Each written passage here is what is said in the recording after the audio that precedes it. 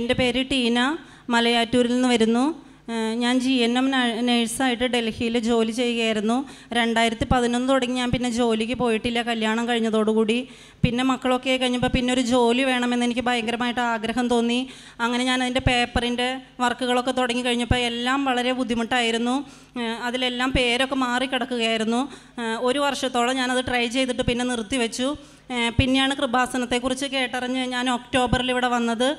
ഇവിടെ വന്ന് കയറി മാതാവിന്റെ രൂപത്തിന്റെ അടുത്ത് എത്തിയതോടുകൂടി എന്റെ മനസ്സിലുണ്ടായിരുന്ന ടെൻഷൻ ടെൻഷനും വിഷമങ്ങളും എല്ലാം മാറി. അതുവരെ എനിക്ക് കുഞ്ഞുങ്ങളെയൊക്കെ ഉപേക്ഷിച്ച് പോകുന്ന കാര്യോർത്ത് ഭയങ്കര വിഷമമായിട്ട് എന്റെ മുടിയൊക്കെ കൊഴിഞ്ഞു പോയി എനിക്ക് രാത്രിയൊന്നും ഉറക്കമില്ലായിരുന്നു പക്ഷേ ഇവിടുന്ന് പോയോടുകൂടി പേപ്പറുകളൊക്കെ പിറ്റേ ദിവസം തുടങ്ങി ഞാൻ എല്ലാം അയച്ചു. എല്ലാ ബുദ്ധിമുട്ടായിരുന്ന എല്ലാ പേപ്പറുകളും ഈസി ആയിട്ട് നടന്നു. എല്ലാം ഒരു തമാശ തമാശ രൂപേണയാണ് ഞാൻ എല്ലാം ചെയ്തത്. അങ്ങനെ ബോംബെയിൽ ഞങ്ങൾക്ക് ഒരു ഒരു ഒരാഴ്ചത്തെ ക്ലാസ്സിനുള്ള ഡേറ്റ് കിട്ടി. അവിടെ ചെന്ന് കഴിഞ്ഞ് രണ്ട് ദിവസത്തെ ക്ലാസ് കഴിഞ്ഞപ്പോൾ ബോംബെയിൽ ഓട്ടോയിലാണ് ഞങ്ങൾ പഠിക്കുന്ന ഇൻസ്റ്റിറ്റ്യൂട്ടിലേക്ക് വരുന്നത്. അവിടെ വന്നു കഴിഞ്ഞപ്പോൾ ഓട്ടോയിൽ വെച്ച് എന്റെ ശരിയാക്കിയ എല്ലാ സർട്ടിഫിക്കറ്റുകളും ഞാൻ ആ ഓട്ടോയിൽ വെച്ച് മറന്നുപോയി.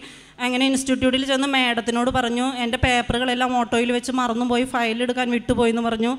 അപ്പോൾ മാഡം പോലീസ് സ്റ്റേഷനിലേക്കും എല്ലാവിടത്തേക്കും വിളിച്ചു പറഞ്ഞു. എന്നിട്ട് അവർ പറഞ്ഞു ഇവിടെ ഹിന്ദി വാലാസിന് അങ്ങനെ അധികം ബുദ്ധിയൊന്നുമില്ല. അങ്ങനെ എന്തെങ്കിലും ഫയലൊക്കെ ഓട്ടോയിൽ കിടന്ന് കിട്ടി അവർ കളയത്തേ ഉള്ളൂ. അതുകൊണ്ട് കിട്ടാൻ യാതൊരു ചാൻസും ഇല്ലെന്ന് പറഞ്ഞു.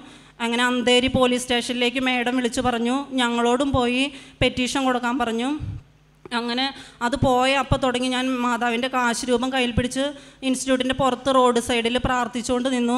അങ്ങനെ എല്ലാം കഴിഞ്ഞ് ഞങ്ങൾ നാല് ഫ്രണ്ട്സും കൂടെ പോലീസ് സ്റ്റേഷനിലേക്ക് പോകുന്ന വഴിക്ക് പോലീസ് സ്റ്റേഷന്റെ അടുത്തെത്തിയപ്പോൾ എനിക്ക് ഭയങ്കര വിഷമമായി. ഞാൻ കാരണം എന്റെ ഫ്രണ്ട്സിനെയും കൂടി പോലീസ് സ്റ്റേഷനിൽ കയറ്റണമല്ലോ എന്നോർത്ത വിഷമോർത്ത് അവിടെ ചെന്ന് പരാതി കൊടുക്കുന്നതിന് മുമ്പ് എനിക്ക് എന്തെങ്കിലും ഒരു റിസൾട്ട് കിട്ടണമെന്ന് ഞാൻ പ്രാർത്ഥിച്ചുകൊണ്ടിരുന്നു.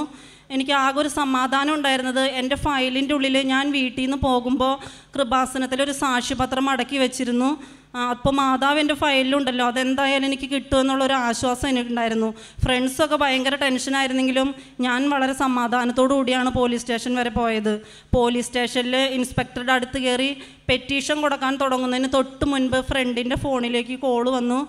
എന്റെ ഫയൽ ഓട്ടോ ഓട്ടോറിക്ഷക്കാരൻ വിളിച്ചു. ഇൻസ്റ്റിറ്റ്യൂട്ടിലെ മേഡത്തിന്റെ ഒരു പേപ്പർ എന്റെ ഫയലുണ്ടായിരുന്നു അതിൽ മേഡത്തിന്റെ നമ്പർ ഉണ്ടായിരുന്നു. ആ നമ്പർ എടുത്ത് അയാൾ ഞങ്ങളെ വിളിച്ചു. ഫയൽ കിട്ടിയിട്ടുണ്ട് കൊണ്ടു തരാമെന്ന് പറഞ്ഞു. അങ്ങനെ ഒരു പന്ത്ര പത്ത് ഒമ്പത് മണിക്ക് നഷ്ടപ്പെട്ട ഫയൽ ഒരു മണിക്കുള്ളിൽ ഫോൺ വിളിച്ച് എനിക്ക് തരാമെന്ന് പറഞ്ഞു.